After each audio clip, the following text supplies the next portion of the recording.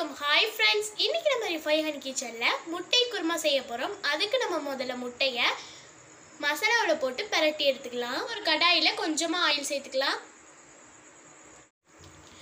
இப்போ oil heat ஆயிடுச்சு. இப்போ ஒன்றொன்னா முட்டையை சேர்த்து உப்புத்தூளும் மிளகாய் சேர்த்து நல்லா பொரிச்சு விட்டுருங்க கொஞ்சம் மிளகாய்த்து கொஞ்சம் உப்புத்தூள் சேர்த்து நல்லா பரட்டி வச்சுக்கலாம். முட்டை உடையாம பார்த்து கிளறி விடுங்க.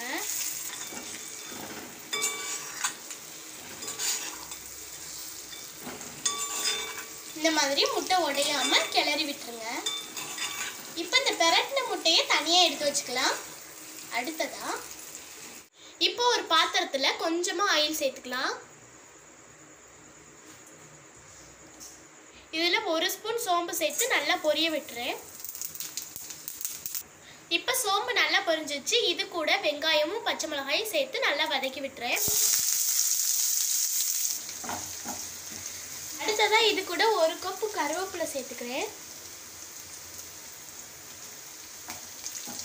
இந்த கருவேப்பிலையும் சேர்த்துட்டு நல்லா மிக்ஸ் பண்ணி விட்டுருங்க.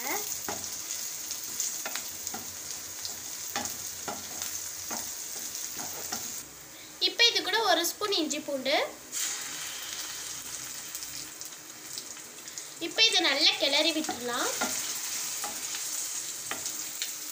இது கூடவே பொடிசா கட் பண்ண தக்காளியை சேர்த்துக்கிறேன்.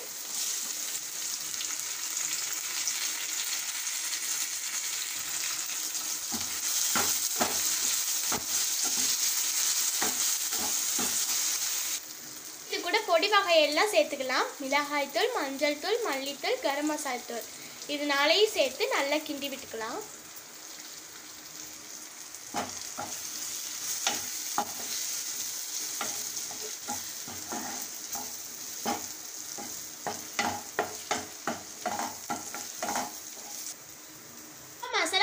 தேவையான தண்ணியை சேர்த்துக்கலாம்.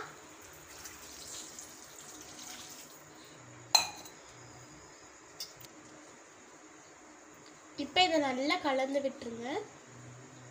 இப்போ இதுக்கு தேவையான உப்பு சேர்த்து ஒரு அஞ்சு நிமிஷம் நல்லா மூடி போட்டு மூடி கொதிக்க வச்சிடலாம்.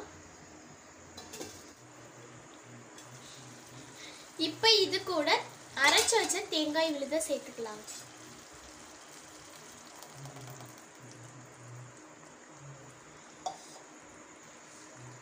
இப்போ இதை நல்லா மிக்ஸ் பண்ணிட்டு ஒரு கொதி கொதிக்க வச்சிடலாம்.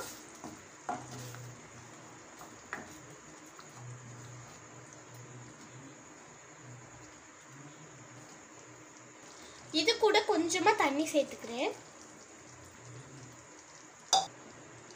இப்போ இதை ஒரு மூடி போட்டு ஒரு ரெண்டு நிமிஷம் நல்லா கொதிக்க வச்சிடலாம்.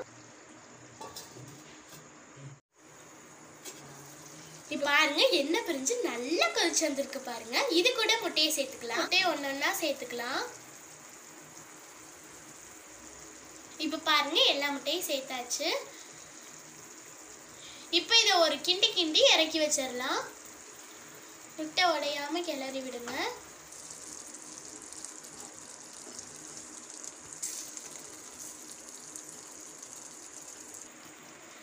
பாருங்கள் முட்டை குருமா ரொம்ப சூப்பராக ரெடி ஆயிருச்சு. இப்போ கடைசியாக நான் கருவேப்பிலை தூவி இறக்கிக்கிறேன்.